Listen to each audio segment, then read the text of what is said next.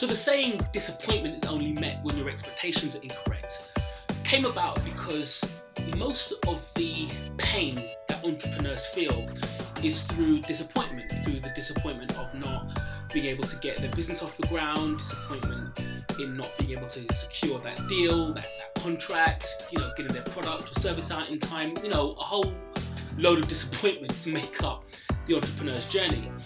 But I think that a lot of the times those disappointments come from incorrectly set expectations. So if you, because of the success of the latest dot com, expect to, you know, have a million people use your app or have, you know, uh, revenues of X million within, you know, Y period of time because of what you read in the news or you've seen on the internet, then that sets an expectation, right? And naturally, we uh, make an assumption based on those success stories that we can replicate it. And certainly we can, but uh, there's a uh, there's a journey that those success stories have followed, and we don't know what those journeys are. We don't know what disappointments they've had to face. All we see um, is the end product, and um, and the glitz and the glamour and the fame and, and all the rest of it, right? The bright lights of that success.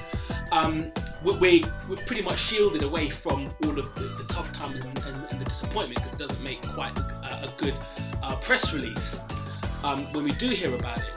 So just pulling it back a bit, we need to think about okay, um, what are our what are the realistic expectations for what it is that, that I'm trying to do? And entrepreneurs can sometimes get carried away by their passion, um, and it takes their feet off the ground and it puts them in a position where they're kind of floating around and um, it sets their expectations um, somewhere in the clouds, right? And it doesn't give them a realistic perception of where they currently are and what they what they need to do to to achieve their goals. So expect expectancy and, and having the right expectations and almost you know taking an accountant's point of view, right?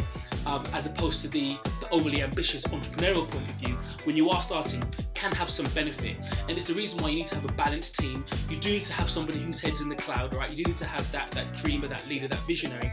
But you also need to have the person in your business who, you know, just counts those pennies, right?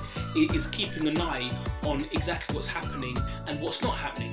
And if you don't necessarily have that skill set to be able to flip between those two between those two dynamics, then get somebody in who can, or partner, or, or outsource, or, or, or, or, you know, get um, somebody who can non-exec who has lots of experience in that um, aspect of the business. So I think that you know, uh, in order to curb the disappointments, no matter what you do, there's going to be disappointments naturally. But in order to curb them, so that you can, you know, retain some some sanity and keep your business going, I think that you know being able to manage your expectations and you know people talk about manage the expectations of, of your customers and stuff but what about managing your own expectations right um, i think sometimes we forget about that and we set ourselves up for failure oftentimes so so you know in, in, in the words of every great rapper from the 80s to now, I think it's very much about keeping it real and keeping it real with yourself.